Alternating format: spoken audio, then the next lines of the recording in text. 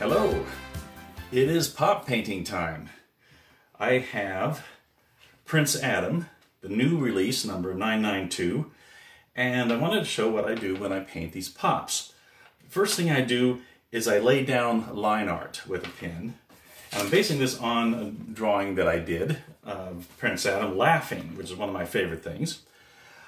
And I wanted to show you this because this is very similar to the cel paintings that we did when we made He-Man and the Masters Universe.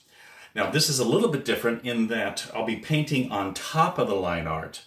On an uh, actual production cel, the line art would be on one side and the paint would be on the back side.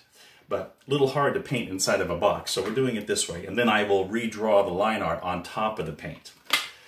So unfortunately, I don't have Cel-Vinyl paint. That is was exclusively made for animation.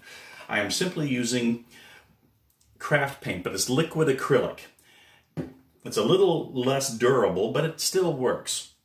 So, well, what I do, I've got three of these, and what I'll be doing is laying down the color, one color at a time on each of the pieces.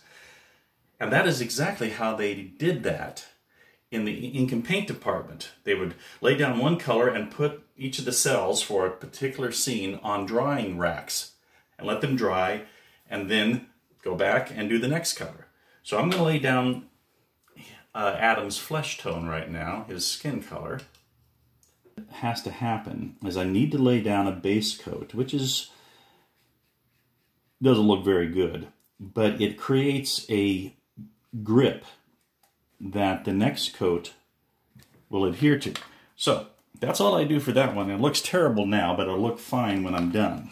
So I come over to the next cel, and this craft paint liquid acrylic, you can find it at any art store. I mean, even Walmart has this stuff. It, um, it dries very quickly. Now, some colors take two coats the flesh tone takes about three coats. So I've done two, I have a third one. And so I set these aside to dry. Or I can move on to a non-adjacent color, let's say like his shirt that doesn't touch uh, the skin color, and work that while it's drying, while the skin color is drying. All right, now I have laid in all the base colors and done the shading. Uh, it uh, What's nice about this is that even putting several coats on it, a little bit of the line art still shows through. This is my favorite part. I get to go back and redraw the line art on the outs on the top side of the paint. And this is where it all starts coming together. And there we are, a finished Prince Adam. Now the only thing remaining to do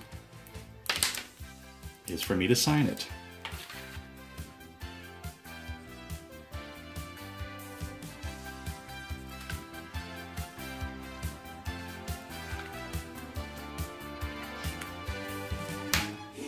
And here it is, all finished, with the pop inside, and my signature.